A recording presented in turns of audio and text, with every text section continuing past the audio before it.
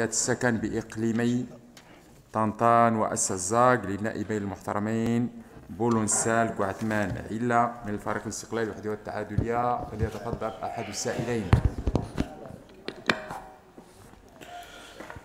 بسم الله الرحمن الرحيم. سيد الرئيس السادة الوزراء إخوتي إخواني النواب المحترمين. في الوقت الذي تقوم فيه الحكومة بمجهودات جبارة لتحسين الوضعية السكنية بمختلف المناطق المملكة وتمكين المواطنين من السكن اللائق.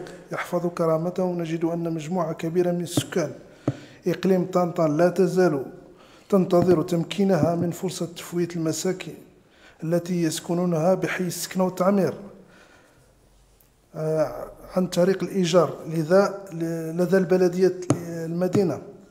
منذ سنوات طويلة خاصة وأن الأمر يتعلق بشرائح اجتماعية ذات دخل محدود من قبيل الموظفين الصغار والمتقاعدين والأرامل ورجال المقاومة. وكذلك الشأن بالنسبة لدور العودة التي تم إنجازها أكثر من عشر سنوات وتتعرض للإتلاف ولا زالت لم توزع بعد على المستفيدين منها بجهة قلميم سمارة. بهذه الروح الوطنية الصادقة التي تشتغلون بها. سيد الوزير لإعادة الاعتبار لهذا القطاع الحيوي مرتبطا بحياة المواطنين وكرامتهم. نطلب منكم إعطاء جهة قلميم السمارة ما تستحقه من العناية والاهتمام في مجال السكنة بما في ذلك المعالجة القضايا المطروحة التي لا زال لا زال السكان ينتظرون تسويتها بشكل نهائي. وهذا ما دفعنا إلى التساؤل عن التدابير المتخذة لمعالجة هذه الوضعية. السكنية السكنية بشكل يضمن تمكين ساكنة إقليم طنطان بصفة خاصة والجهة بصفة عامة من السكن اللائق بهم. والسلام. شكرا الكلمة للسيد الوزير الموضوع يتعلق السيد آه، النائب وضع وضع جوج ديال الإشكاليات. الإشكالية الأولى كتعلق بواحد البرنامج سكني قديم جدا.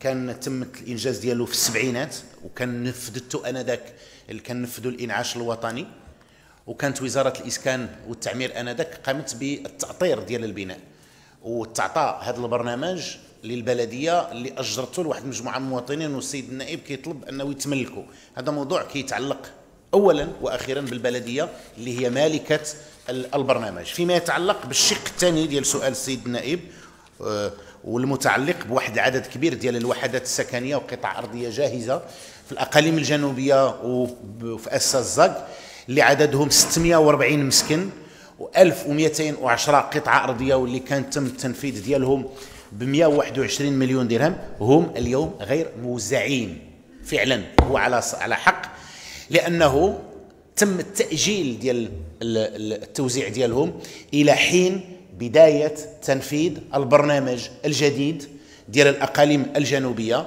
اللي أمر به صاحب الجلالة نصره الله واللي تم التقديم ديالو ووافقت عليه وافق عليه المجلس الملكي الاستشاري للشؤون الصحراوية واللي كيهم 86800 وحدة سكنية ب 4.5 مليار درهم ديال التجهيز.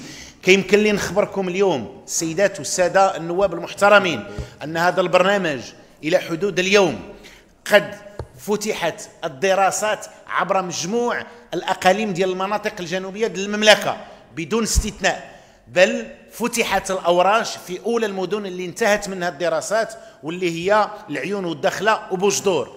فيما يتعلق بأساس الزاق غادي يكون غادي تستافد من هذا البرنامج الجديد ب 2000 وحده جديدة 1300 في أساس الزاق و700 في طنطان. نضيفوهم الوحدات الجاهزة الغير الموزعة. بعد هذه العملية غادي يسهل العملية ديال التوزيع لأنه غادي نمروا من عملية الانتقاء والأسبقية إلى عملية التعميم اللي ما فيها حتى مشكل. شكرا. شكرا.